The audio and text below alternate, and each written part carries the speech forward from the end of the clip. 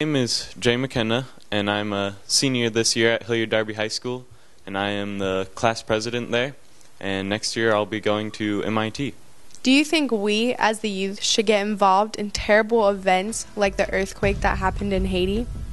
Hilliard Darby and the other Hilliard high schools, there are a lot of many different service oriented organizations, and I think they just need to make sure they remember Haiti when they're thinking about the different activities that they're planning.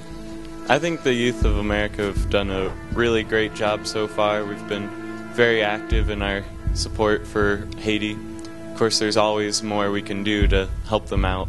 So we're trying to do our best to help out the situation down in Haiti. The U.S. has done a very good job of coming to the aid of Haiti. I think they still need our continued support. Uh, in the winter this year at Hilliard Darby High School, we put on a charity ball, and the proceeds from the charity ball went to benefit the survivors and those struggling in Haiti.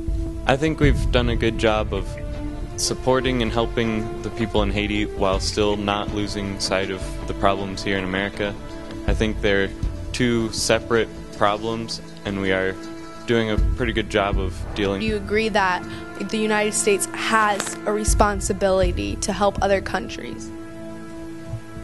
I think we as Americans are very blessed with many things, among them freedom and wealth, and uh, I think it is our right to give back to those less fortunate in other countries, even though we may have some problems here. I think it's still good to. I think the media's stopped covering Haiti, and we need to keep it in the spotlight so that people know that people are still having problems down in Haiti. Jay, if you had the chance to actually visit Haiti and have the first on experience of helping out the Haitians, would you take the chance? I think it would be nice to see the effects firsthand and to try and help out the people uh, face to face to really give the most that I can to them. Thank you for watching this week's interview from UKUWA Tube. Stay tuned for next week's interview on more current events happening right now in the world. If you want to be interviewed, you can contact at ukuwa.com an email or you can contact me at adavis9563 at yahoo.com and especially if you want to be heard.